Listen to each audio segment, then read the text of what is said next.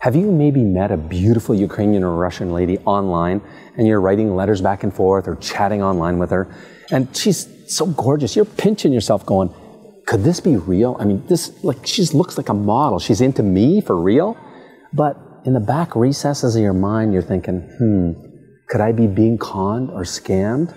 Even though she hasn't asked you for money yet. Well, in this short video, a couple of things.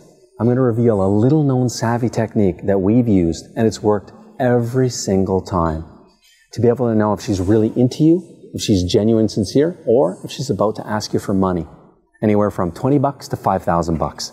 And I'll share with you how this scam works and why so many men are falling for it. Also, in this video, you're about to hear from a lady that's known in many circles as Ukrainian's matchmaker Cupid.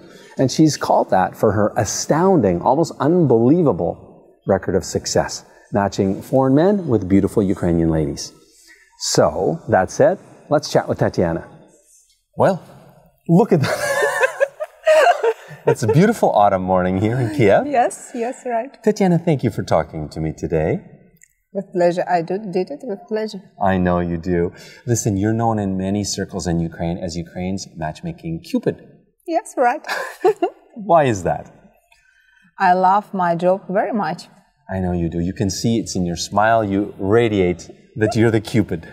Yes. Can true. you share with us, because you have incredible track record of success, what is it? Like, of all the foreign men that have come to you over your 16-year matchmaking career, uh, what percent have you helped find a beautiful Ukrainian lady and get married? 91%, I can say. 91%. Yes. That's an astounding record of success that I've Yes. never even heard anybody uh, come close to this. We'll just put it this way. Yes. astounding. So, how many marriages approximately? I know, uh, how many marriages approximately over your 16 year matchmaking career that you've. Uh, About uh, 800. that's astounding. Yes, 800. yes. 800. So, I'm going to ask you a little bit in this interview, you know, what are your secrets to your matchmaking success?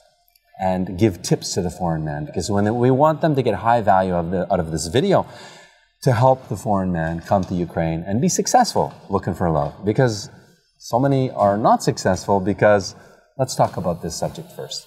Yes.